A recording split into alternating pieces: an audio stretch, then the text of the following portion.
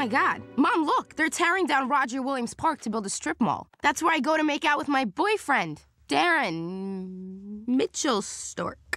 Yep, he's uh he's the chairman of the soccer ball team. Well, all right.